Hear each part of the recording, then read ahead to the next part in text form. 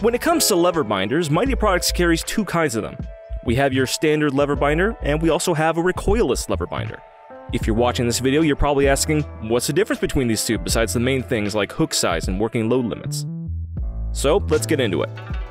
On the standard lever binder, when you pull these chains together, all of the energy is being stored in the handle. When it's clamped down, all of the pressure you put into it is there to keep it down, which is great, but one of the drawbacks is that when it comes time to loosen it, all of that energy that is stored is going to recoil back at you, which could either be jarring or cause an injury. Another one of the drawbacks is that if you go over a heavy bump or any other force that acts upon it, the lever can snap right back up and open up, loosening your chain.